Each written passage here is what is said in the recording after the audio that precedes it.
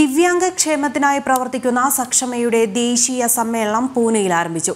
മഹർഷി കാർവേ വിദ്യാമന്ദിറിൽ നടക്കുന്ന സമ്മേളനത്തിൽ ആർ എസ് എസ് സർസ് കാര്യവാഹ് ദത്താത്രേയ ഹൊസബള സമ്മേളന പ്രതിനിധികൾക്ക് മാർഗദർശനം നൽകി. എല്ലാ സംസ്ഥാനങ്ങളിൽ നിന്നും ദിവ്യാംഗരുൾപ്പെടെ ആയിരത്തി ഇരുന്നൂറോളം പ്രതിനിധികൾ പങ്കെടുത്തു.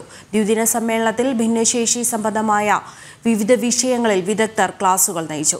സക്ഷമയുടെ സേവാ പ്രവർത്തനങ്ങൾ എല്ലാ ജില്ലകളിലേക്കും വ്യാപിപ്പിക്കാൻ ദേശീയ സമ്മേളനം ലക്ഷ്യമിടുന്നു. നേത്രദാനം മഹാദാനം എന്ന സന്ദേശം പകർന്ന സമ്മേളന നഗരിയിൽ നിന്നാരംഭിച്ച ശോഭായാത്രയിൽ ആയിരങ്ങൾ പങ്കെടുത്തു.